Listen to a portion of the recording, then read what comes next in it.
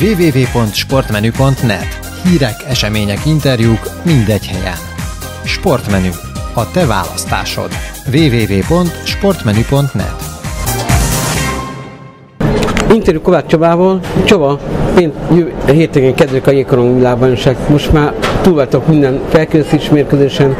Hogyan várjátok?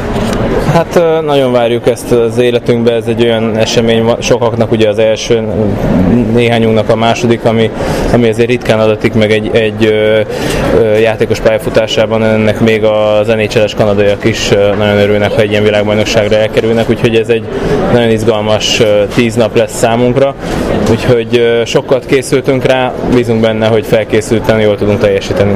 A felkészülési mérkőzéseken milyen szétszolgálta a játékban, a, a csapat egységet, vagy mindkettő?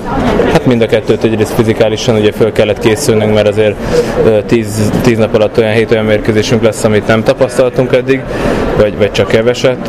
A másik pedig az, hogy, hogy ugye egyre több klubból érkeznek a játékosok a válogatottba, és ezek, e, ezeket a játékosokat, játékelemeket ugye össze kellett finomítani, kovácsolni a sorokat, csapatot, úgyhogy mind a kettőt. A kapitány úrban érezted a feszültséget, hogy ahogy közedik a VB? Te ezt hogy érezted a másik oldalról? Szerintem mindenkiben van egy egészséges feszültség egyre jobban, amikor, ahogy közeledik. Ugye volt egy nagyon-nagyon nehéz időszakunk, amikor, amikor ugye a csapat építésben ugye a szűkítéseket meg kellett hozni. Az elmúlt időszakban soha nem volt ilyen nehéz dolga neki. Ez érezhető volt rajta is, a játékosokon is, hogy nagyon nagy a harc, mert nagy a lehetőség. Úgyhogy sok feszült edzésünk, mérkő, egymás elleni mérkőzésünk volt, de aztán szerintem most már benne is ez a kellemes druk van. És hogyan várjátok a szurkolókat Szentpétervárra, hiszen Krakóban fantasztikus volt a légkör. Most gondolom szeretnétek, ha ennyien eljönnének oda is.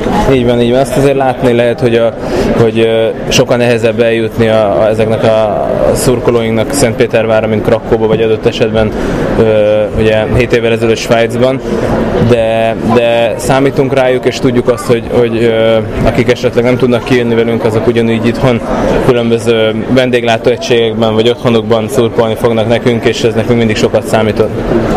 Mit az eseményen a gyerekek fogadtak titeket?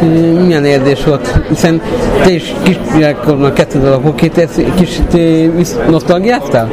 Természetesen én ugye korán kezdtem el egyrészt édesapám révén is ugye jégpályán nőttem föl, és emlékszem azt, hogy, hogy nekem is milyen jó volt, amikor a nagyokkal találkozhattam. Próbálunk ebből minél többet visszaadni a gyerekeknek, és motiváló szempontból sokat beszélgetni velük, úgyhogy ezen dolgozunk. Milyen érzés példaképnek lenni? Hát ez egy, ez egy felemelő dolog, nagyon, nagyon örül az ember, nem, nem is a, a hírnévnek, hanem az, hogy egyáltalán felnéznek ránk. Ez azért ez egy komoly teher, aminek, aminek, aminek illik megfelelni, úgyhogy próbálunk ennek eleget tenni. És lenne, lennél elégedett a hoki vb Tudom, a bennmaradás lenne, de a játék, a pont, vagy összességben mire gondolsz így a VB előtt? Hát a játék az, ha csúnya játékkal maradunk, akkor is elégedett leszek. Én azt szeretném, hogy, hogy minél több jó mérkőzést játszunk, vívjuk ki a tiszteletét a magyar jégkorongnak egyre jobban a, külföldön, és, és nekünk nem szabad számolgatni, nem vagyunk abban a pozícióban, hanem dolgoznunk kell, dolgoznunk kell, és a végén meglátjuk, hogy ha tudunk gyűjteni pontot, az mire lesz elég. www.sportmenü.net Hírek, események, interjúk mindegy helyen. Sportmenü. A te választásod. www.sportmenü.net